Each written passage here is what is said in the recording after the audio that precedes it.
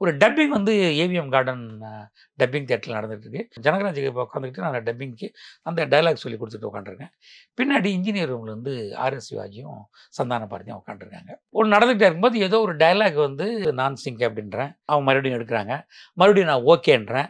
அவங்க வந்து மறுபடியும் ஏதோ ஆர்எஸ் சிவாஜி இது வந்து இல்லை ஒன் மோர் அப்படின்றாங்க. அப்படின்னு பேச பேச விளையாட்டுத்தனமாக பே பேச்சு ஆக ஒரு வார்த்தை தடுத்து வந்துருக்கு. ஜனகராஜ் வெளியில் வர்றாரு. சிவாஜி வந்து அடிக்க. உடனே சந்தான பேர் உள்ள பாவ. அப்படி வந்து ரெண்டு பேரும் ஒரு கைகள் நடந்துட்டு இருக்கு டப்பிங் நின்று போச்சு.